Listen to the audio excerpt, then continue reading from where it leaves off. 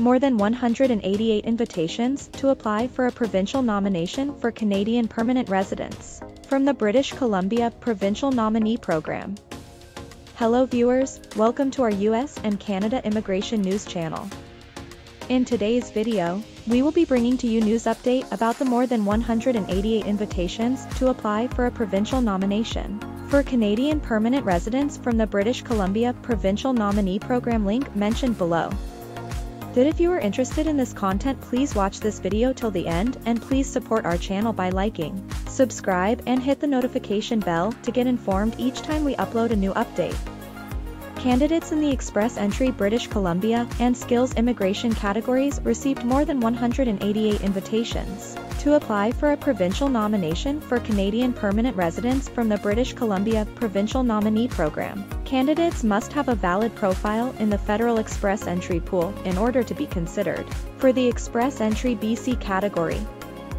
Express Entry is Canada's primary avenue for skilled immigrants seeking permanent residency in the country.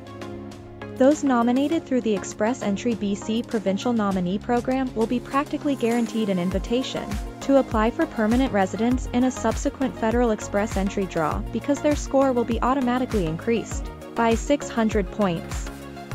Check out the link in the description below to get me details about the type of draw conducted, the number of invitation to apply issued, and any specific factors that were targeted for a specific draw.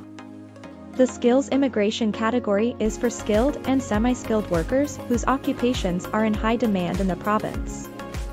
Candidates in all categories must register using B.C.'s Skills Immigration Registration System, which assigns a score to eligible candidates based on characteristics like their job offer, location in BC, education, language proficiency, and wage.